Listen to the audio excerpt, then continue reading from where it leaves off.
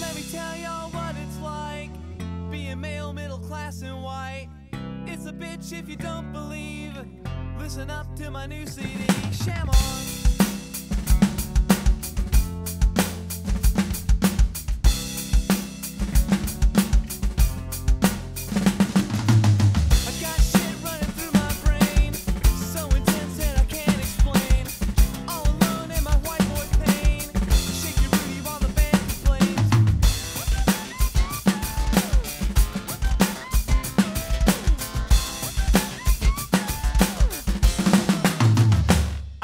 suffer.